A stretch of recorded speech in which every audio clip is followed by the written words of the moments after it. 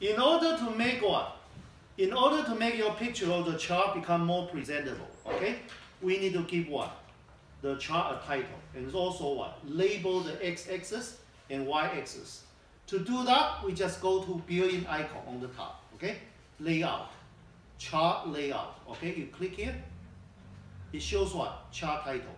And you click here again, you left click, click, click the mouse, and you can enter what? The keyword, okay? You say this is projected.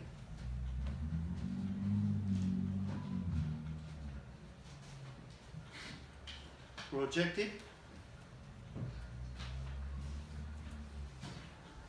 Bookshare.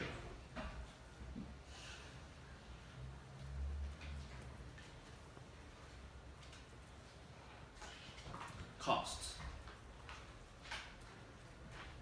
Okay.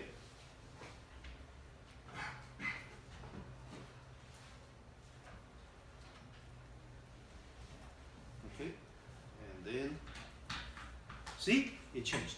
Is that okay? It changed. Projected book share cost.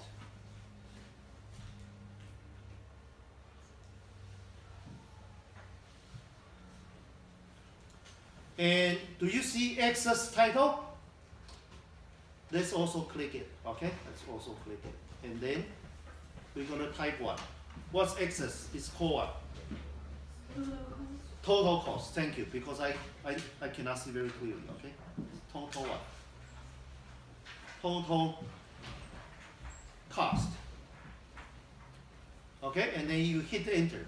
Hit the enter key, you will replace it. Is that okay? Total cost. And how you fix what?